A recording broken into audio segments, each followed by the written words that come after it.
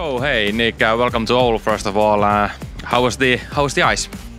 It was good, good practice. Uh, felt good out there, and uh, excited to get going tomorrow night.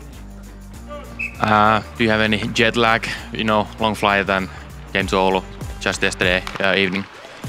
Yeah, I definitely have. You know, you feel a little bit. I'm not uh, right up there, hopefully tonight I get a good night's sleep and um, you know flush some of that out and just keep getting better as we go here. Uh, any first feelings about Oulu? Obviously, uh, under 24 hours here now, but uh, how was the cold? Yeah, when I got off the plane, it was a little chilly, but um, I'm used to that a little bit, and uh, as long as you wear a coat, it's, it's not too bad. Do you have any uh, uh, teammates that you know from uh, before here? Um, like on this team? Yeah. No, no one. Um, I play with a lot of Finnish guys, so um, always always people that I liked, and they're always good teammates. So uh, I was comfortable coming here. All right.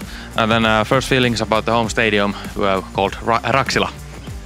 Yeah, nice, nice little rink here. Obviously, uh, almost goes straight up, so the, fans are gonna be right on top of you, and uh, the ice is great. And, um, I could see it being a, a good place to play. All right. Hey, thanks, and uh, we wish you good luck. Yeah, thank you.